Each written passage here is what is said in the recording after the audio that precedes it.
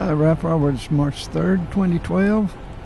On the way back up from a business trip to Charlotte, near Hendersonville, North Carolina, on I 26. Gentleman over there driving a truck pulling uh, shipping containers, having a little conversation with the Highway Patrol. So much for his enjoying his evening. But we're driving safely. Uh, last time we stopped for gas, I let Pat take over the driving.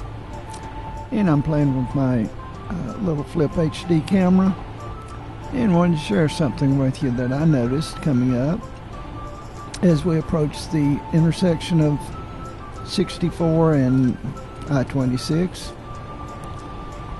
The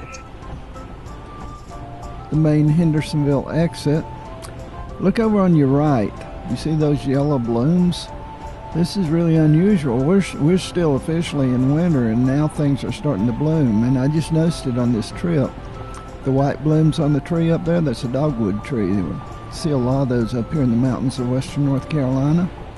Very pretty. And uh, there's some more dogwood trees coming up.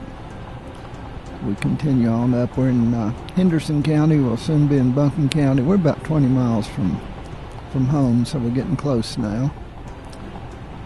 Enjoy going on trips. Uh, that's a nice dogwood tree, but enjoy even more coming back home to the mountains. Even in Charlotte, it's a little too flat for us.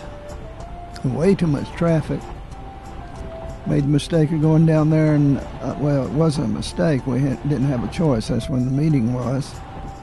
But it's also uh, part of the NCAA tournament, March Madness basketball, and there were no hotel rooms in Charlotte. And Charlotte's a huge city. We had to stay out about an hour away in Lake Norman. But we we made it, no problem. Another dogwood, and thanks for riding along.